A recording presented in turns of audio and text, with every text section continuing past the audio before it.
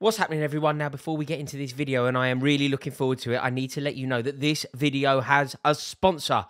Get in! Thank you so much to Readly for partnering with me on this video. Now, I cannot tell you how useful and clever this platform is. It allows you to have access to over 5,000 newspapers, magazines, publications, all in one convenient place. It is such good value. One account gives you five profiles. So, per household, pretty much, you get one account and everybody will have access to educate themselves and entertain themselves all via one account. So, for someone like me who always wants to read about football, I have a plethora of footballing publications to choose from. But the brilliance of Readly is that when there is something going on that I don't know as much as I would like to, for example, the Super Bowl is encroaching. I don't know the NFL as well as I would like to.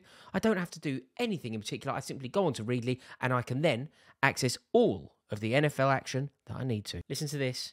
If you click the link in the description below, you will have two months completely free via that link. Thank you so much to Readly. And the best bit of it is you can cancel at any time. So there really is no reason to not give it a go. I guarantee you that if you give it a go, you will never look back. Revolutionary stuff. Right, there we have it. Thank you so much to Readly. I am honoured that you have chosen to partner with me on this video. It's been a joy to work with you. Now let's get stuck into the video. Marcus Rashford is the best player in European football at the moment. Marcus Rashford is simply sensational, unplayable, and he is carrying a club with the might of Manchester United upon his rather boulder like shoulders. What's happening, everybody? I thought we could have a chat about the brilliance of Marcus Rashford, a player who has found form that I did not think he were capable of. He has taken his unquestionable talent to a new level, and I think we need to explore why and how. I think that he is truly sensational. That's right, Marcus Rashford has scored 10 goals in as many games since returning from the World Cup. That is already twice as many as he managed to score last season. When he is in this sort of dazzling form, he is the rarest of creatures. He is a player capable of scoring from anywhere on the pitch, at any time of the game, in any manner. He is a threat from anywhere a threat in any circumstance, and a player capable of almost anything. There is no doubt that where I am concerned with regard to Marcus Rashford, a little bit of contrition is in order. I always rated Marcus Rashford. I always thought that he was capable of a certain level of performance. I went to the 2016 European Championships in France, and Marcus Rashford was a player that I was pinning our hopes on. I know that he is a class player, but I didn't necessarily think he were capable of this form. I didn't think he would be able to reach these new heights off the back of what we saw last season. Last season, he was in disarray. He looked a shadow of his former self, and there were even times at Old Trafford where the Stretford end were getting frustrated with him. Now he's back with a vengeance. He looks truly remarkable. There's a newfound frame to him. He's absolutely ripped. He's scoring goals for fun, all types of goals. It actually makes him one of the most diverse strikers in the league. He is capable of anything.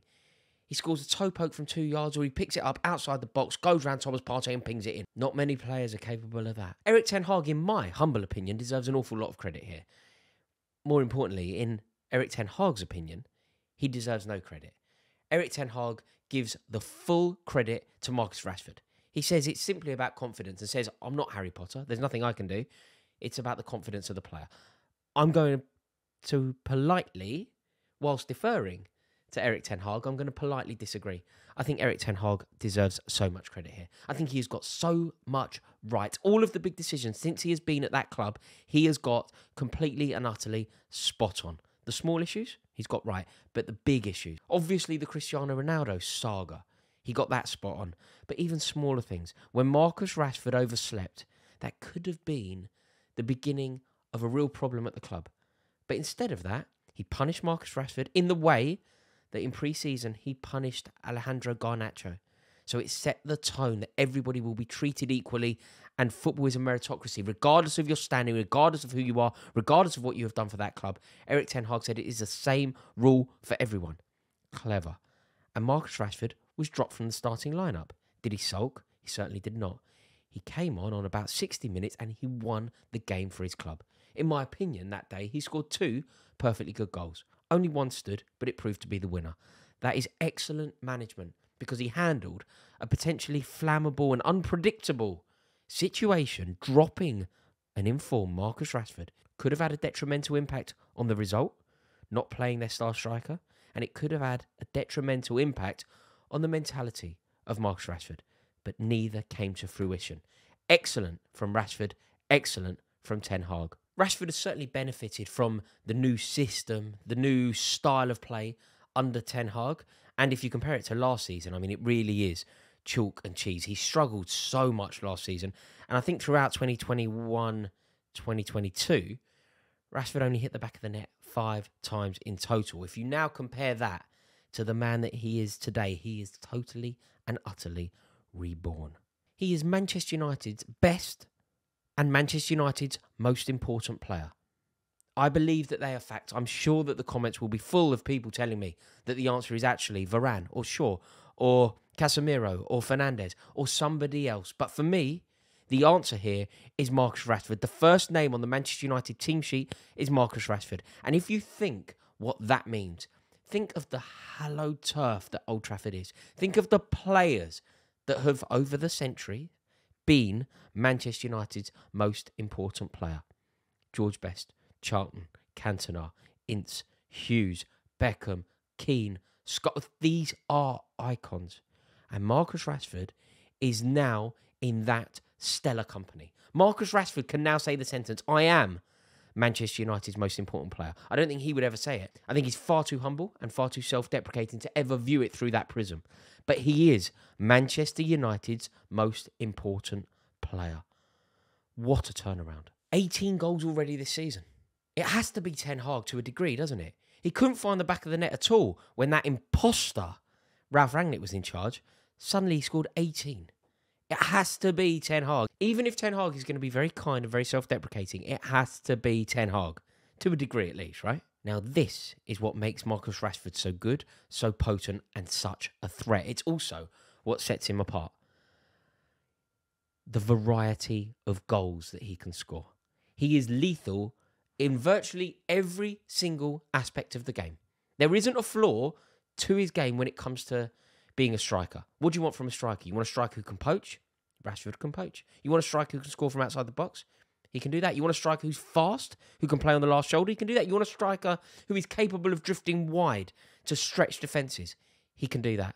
He is one of the most all round strikers that the Premier League has ever seen. It doesn't matter, does it? The man can do it all. It doesn't matter whether it's a toe punt in the box from what, five yards out, or picking the ball up on practically the halfway line at the Emirates, shimmying, flip flopping past Thomas Partey, of all people, and then drilling it, pinging it low into the bottom corner past, in my opinion, the best keeper in the league at the moment, Aaron Ramsdale.